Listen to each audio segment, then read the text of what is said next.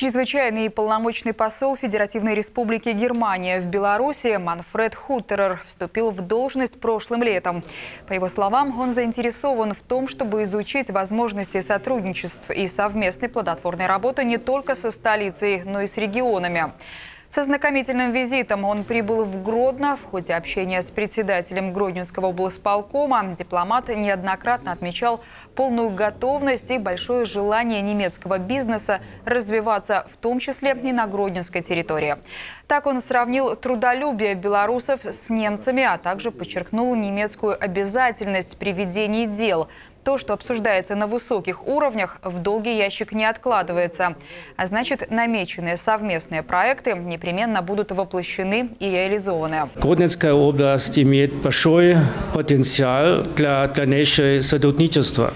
Это, конечно, касается разных э, направлений в культурном, культурной, э, в культурном плане, тоже экономическом плане. Я только что э, посетил свободную экономическую Сону. И мне сказали, что там э, два немецких предприятия, они там э, присутствуют. Я думаю, что сейчас задача заключается в том, что для того, чтобы вовлечь много э, немецких предприятий здесь, э, в Кодинскую э, область.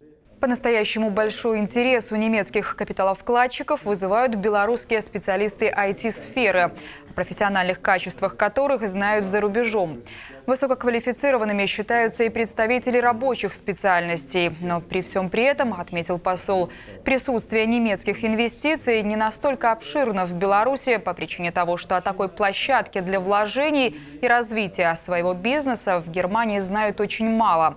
Для увеличения инвест-привлекательности региону нужно усилить работу над своим имиджем и известностью.